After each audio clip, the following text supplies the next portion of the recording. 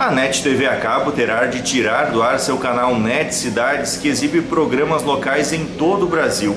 Aqui em Santa Maria é o canal 26 e exibe programas como Azar na Noite, Closed by Michele Torico e Carpe Diem.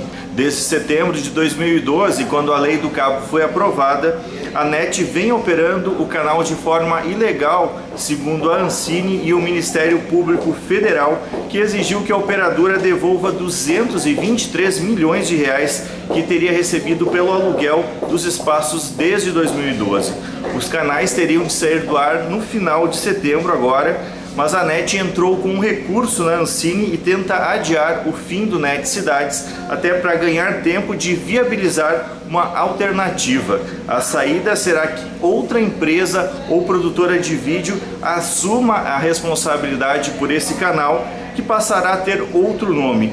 E essa empresa então negociará os espaços com os apresentadores locais para que eles sigam transmitindo seus programas aqui na cidade mas o problema é que não se sabe quanto tempo levará para que essa outra empresa assuma o canal.